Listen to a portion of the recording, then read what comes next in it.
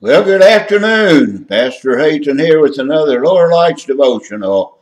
I'm going to be going off to keep a doctor's appointment here pretty soon, and I'm not just real sure why I'm going. If you were to say, How are you doing? I would say just fine. Are you feeling well today? Well, for an old man, I feel pretty good. You might say, Are you uh, ready to die? And I might say, well, as Brother Lee used to say, I'm prepared, but I'm not ready.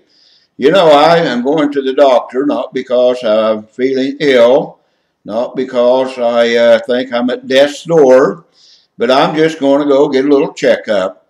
And I think that uh, there's nothing wrong with going to get a little checkup on this old body once in a while, especially when it gets a few years and a few miles on it I know that uh, the miles are many on this body. I've traveled a long way in this old world, and so I think it's only wise that we visit our physician and allow him to check us over. And I think about how, you know, we are concerned about the body.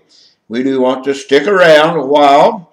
Uh, you know, we've got all eternity to enjoy heaven, and we want to enjoy the best life that we can here on earth. And if we're sick and afflicted and all puny, we're not going to enjoy life too well. So we want to stay well, and if there is something wrong, we want to find out if there's some treatment for it that uh, can make us better. Generally, they have a pill for about everything. So hopefully, if they should find that something's just not up to uh, par, that uh, they can prescribe some medicine that'll help us to live a quality life and and uh, spend a few more years here on the face of this good earth that God has given us to enjoy.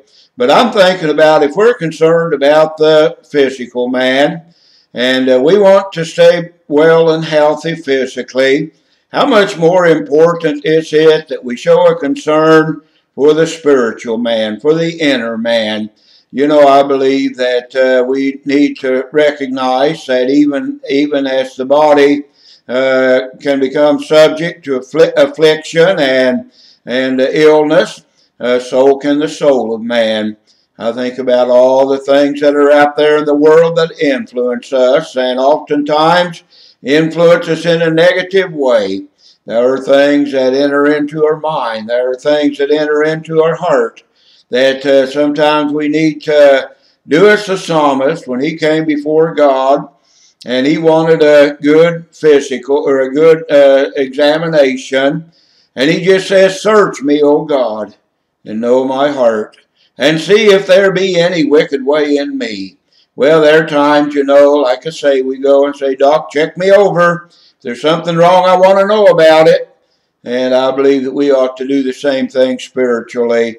Every once in a while, search me, O God, know my heart.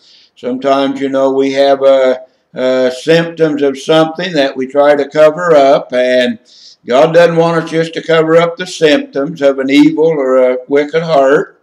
He wants to take care of the heart.